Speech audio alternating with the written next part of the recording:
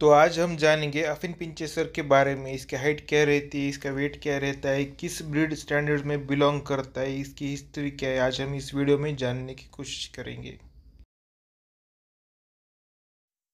Often पिंचेसर तेरेर जैसे दिखने वाली खिलौने कुत्ते की एक प्रजाति है। यह प्रजाति मूल रूप से जर्मनी की है और सत्रहवीं शताब्दी से इसकी पहचान की जाती है। इसका नाम जर्मन अफे यानी कि बंदर के नाम पर पड़ा। यह कुत्ता गिफ्रोन ब्रुक्शलियोस की प्रजाति से भी प्रभावित है।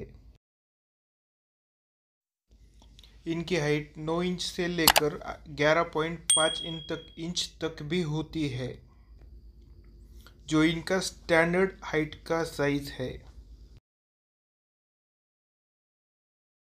और इनका स्टैंडर्ड वेट होता है तीन केजी से लेकर नाइन केजी तक।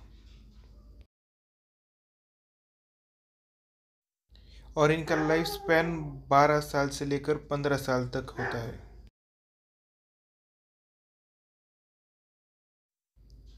और इनका स्टैंडर्ड कलर जो होते हैं black bleak black and tan black and silver and red ये इनके स्टैंडर्ड कलर होते हैं।